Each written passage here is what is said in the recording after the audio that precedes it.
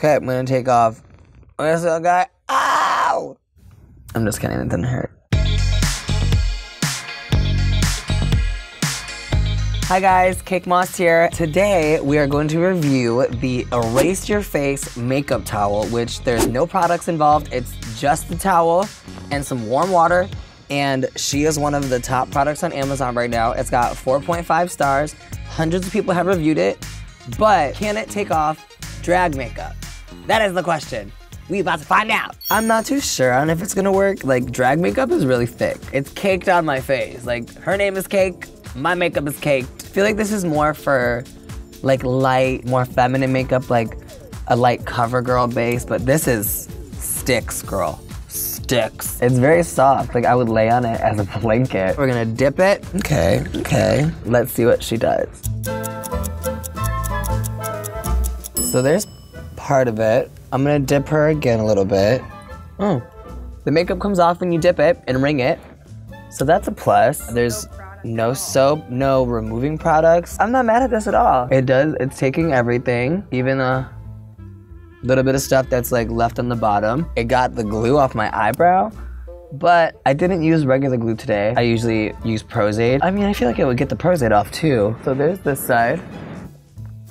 And then still this side still full of makeup. Other than like the redness from uh, obviously the rubbing, there's no product that I needed other than this towel itself. I'm not mad. Oh yeah, look at all that.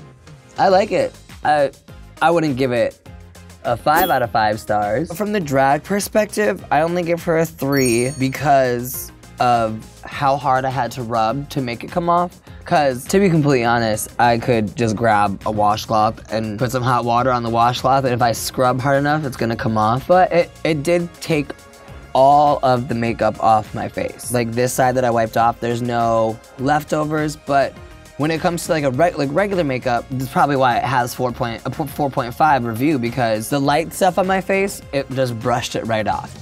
Okay, all my makeup is gone.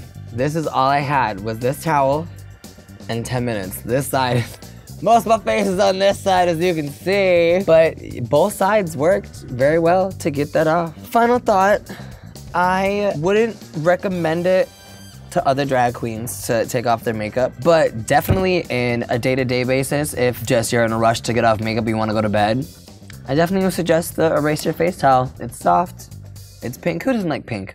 Come on. Let us know in the comments what you guys think. If you've used it before, if you haven't used it before, if you're like, girl, bye. Or if you're just like, I just use wipes. Good night. But let us know. And thank you guys for watching. Bye.